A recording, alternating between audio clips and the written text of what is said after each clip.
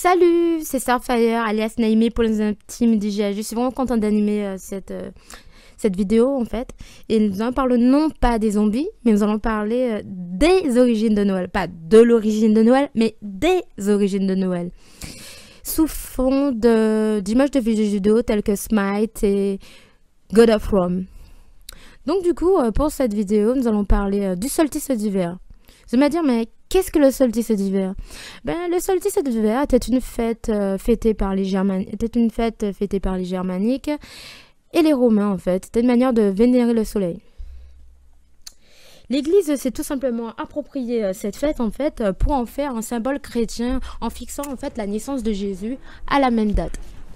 C'est une manière tout simplement de faciliter la propagation de l'évangile tout en respectant les dates festives paganiste. Vous allez me dire, mais c'est quoi le paganisme C'est quoi, le, quoi être paganiste Tout simplement, c'est un terme générique très utilisé, très en vogue par les chrétiens du 4e siècle après Jésus-Christ, euh, pour désigner en fait les religions qui n'étaient pas d'origine ni chrétienne euh, ni juive.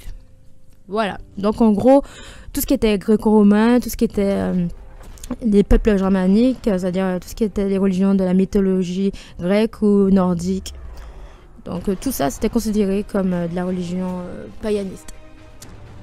Donc du coup, vous allez me dire, mais c'est... Mais comment ils ont fait en fait? Comment ils ont fait en fait pour... comment ils ont fait en fait pour faire en sorte que Noël en fait soit placé en fait à la place du de la fête du soleil? Mais tout simplement en fait ils ont comparé ils ont comparé le soleil à Jésus. En fait ils ont comparé les caractéristiques du soleil euh, aux caractéristiques de Jésus. Donc euh, Jésus-Christ en fait est tout simplement présenté comme, euh, comme le soleil qui devrait vénérer les Romains et les barbares. C'est le Christ soleil, mais le Christ qui rayonne de justice, celui qui unit, celui qui réchauffe les cœurs, celui qui amène la vie, celui qui éclaire tout ce ceux qui sont dans les ténèbres. Comme le soleil, le soleil éclaire, le soleil vivifie les hommes, les animaux, le soleil réchauffe, le, voilà, le, le, soleil est une sorte de signe de, de gloire. Donc, voilà, donc c'est. Voilà, c'est ont tout simplement comparé, en fait, Jésus et le Christ et, le soleil. Donc, euh, en somme, on peut dire que l'origine de Noël est liée à la fête religieuse paganiste du, du solstice, euh, solstice d'hiver.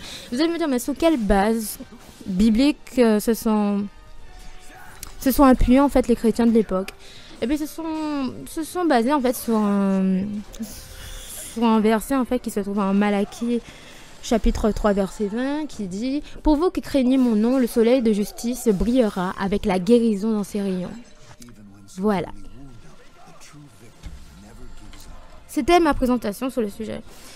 Là par contre, je vais pas parler euh, au nom d'Ingen avec Jésus, je vais parler en mon nom euh, moi personnellement, euh, euh, moi personnellement, même in games, enfin, je veux dire, on vous parle pas de, on vous, on vous parle pas de ça pour vous dire oui parce que si certains d'entre vous sont, sont croyants, qu'ils soient chrétiens ou musulmans ou, autres, ou qui sont, qui sont tout simplement déistes ou autres et qui disent non je je fête je fais pas je fais pas du tout fêter Noël parce que parce que Noël a des origines paganistes et tout ben je, je peux comprendre ce point de vue si par contre il y a d'autres qui préfèrent fêter Noël et se dire ah non c'est un symbole justement du Christ, c'est une façon de se, commémorer, de se remémorer justement la naissance du Christ, c'est important de fêter l'anniversaire de, quelqu'un qu'on aime, si on fête son propre anniversaire et si on fête l'anniversaire de nos amis, à, plus forte raison le fait de, fêter euh, euh, l'anniversaire du Christ. Donc effectivement ces gens-là je comprends. Après les gens qui considèrent que Noël c'est commercial, mais je je peux comprendre aussi. Parce que Noël, est, tout est centré autour des cadeaux, tout est centré, euh, euh, par exemple, même au niveau commercial, par exemple, euh, dans le milieu commercial, c'est à cette période de l'année qu'ils se font la majorité de, de leur chiffre d'affaires se fait, voilà, à la période de, à la période de Noël. C'est vraiment une période à ne pas négliger pour un commerçant. Noël, aujourd'hui, ça fait penser à quoi? On pense au Père Noël, on pense à Coca-Cola, voilà, c'est vraiment, euh, c'est vraiment que des, thèmes, que, que des choses commerciales au final. Et je comprends aussi euh, d'autres personnes qui voient Noël comme, euh, comme quelque chose de culturel en fait, qui a perdu toute substance religieuse en fait, et tout simplement familial et, tout simplement quelque chose de tout simplement de culturel. Donc voilà. Et là, maintenant, je parle en mon nom pour dire que moi, personnellement, moi, je, moi, je, je m'en moque, en fait, que, que, que les gens fêtent Noël ou pas. Voilà. C'est. Voilà. De toute façon, même chez, parmi les gens d'Ingames, euh, euh, dans, nos, membres, en fait, il y a certaines personnes, je, oh, je préfère dire la vérité, qui ne fêtent, euh, qui ne fêtent pas Noël, qui ne fêtent pas Noël justement à cause de ses origines. Voilà, je, je respecte. Je respecte. Il y en a d'autres. Il y en a d'autres qui sont dans le, qui sont dans le groupe, qui, euh, voilà, qui fêtent Noël justement.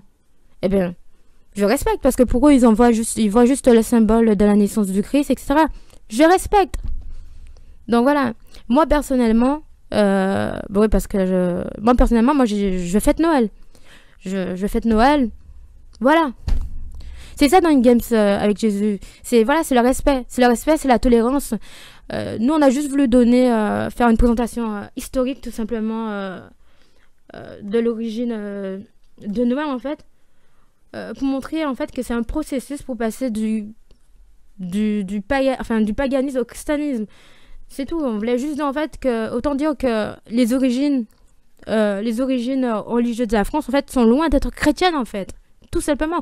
Parce que faire croire aux gens, oui, la France a une origine, euh, et d'origine chrétienne, ben ça dépend à quel ça dépend à quel moment on situe euh, les origines de la France. Parce que si on situe les origines de la France à la Gaule, euh, dans l'univers euh, antique et germanique, euh, ben, était composé tout simplement de peuples barbares totalement différents, d'une région à une autre de la, enfin, de la Gaule, entre parenthèses de la, entre parenthèses de la France. c'était des peuples différents d'une région à une autre, mais ils parlaient pas forcément la même langue, ils n'avaient pas forcément la même culture, ils se faisaient la guerre.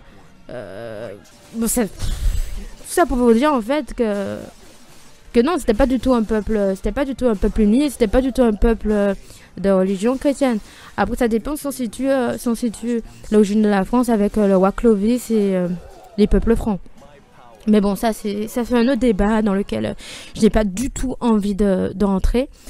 Bon, bon. De toutes les façons, les sources liées du, christian, du paganisme au christianisme, je vais mettre dans les descriptions. Voilà, les sources qui vont justement, qui vont vous relater certaines choses historiques, je vais les mettre dans les descriptions de la vidéo.